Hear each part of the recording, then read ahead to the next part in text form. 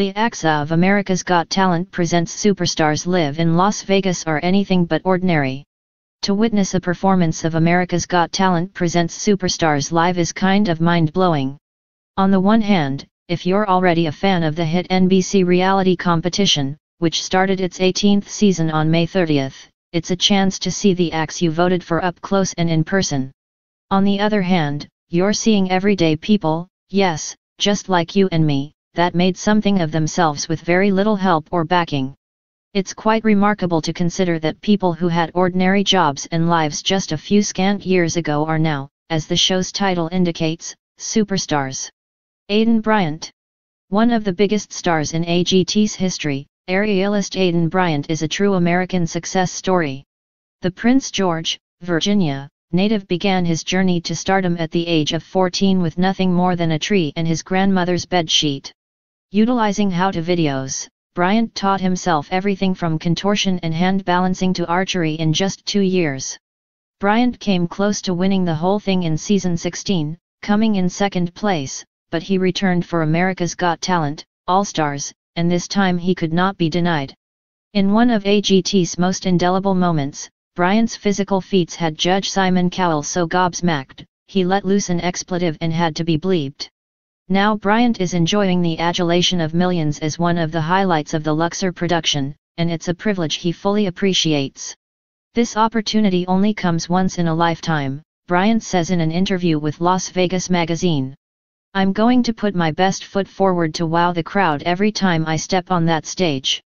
The sheer physicality of his act demands a high level of commitment, and Bryant admits that one of the biggest challenges he faces is trying to stay flexible for the next show, but added his fans are a huge motivating factor.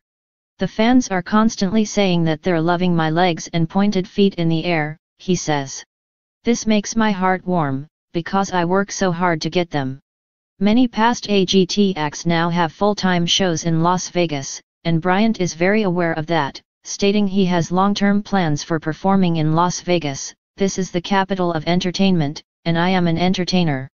I want to live here full-time and share my talent with all. The Pack Drumline One of the more inspirational acts in the history of AGT is undeniably the Pack Drumline, a group formed in 2014 as part of an at-risk after-school program in Chicago. Its performance, which consists of dancing, drumming and even a bit of acrobatics, won over the judges, Chicago, and all of America. Even though the group didn't win its season, it was a huge inspiration for millions, and its message of pulling yourself out of a bad situation through grit, determination and, most of all, hope, resonates with all who hear the story. Perry Dontai, one of its members, relates a recent fan-related story. We met a father and daughter who had traveled from Canada to specifically see us, Dontai tells Las Vegas Magazine. Both of them were drummers themselves, the daughter is in the marching band at her school and told all of her classmates about us.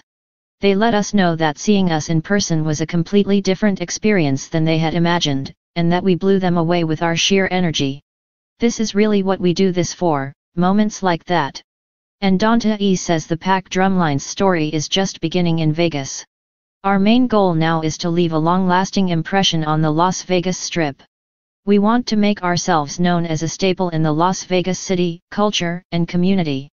By striving to continuously evolve our performance and increase our network with other talented artists and management teams, we know we can turn our brand into a household name here in Vegas.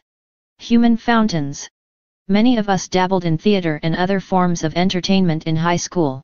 But Sam Kaufman, Joel Lowinger and a group of his friends took it far beyond that level. They formed Human Fountains at the Denver Jewish Day School, and the power of social media took over from there. Their viral success led to an invite from AGT's producers, and despite Cowell's negative reaction to the act, they were an instant hit. To enjoy the Human Fountains Act which currently consists of Kaufman, Jesse Hiley, Robert Ryan, and Kirk Marsh, who rotate into the three-person act, is to enjoy an amalgam of the Three Stooges, the Marx Brothers and the comedies of the Farrelly Brothers. It's slapstick combined with gross-out humor, and it's proven to be an audience favorite.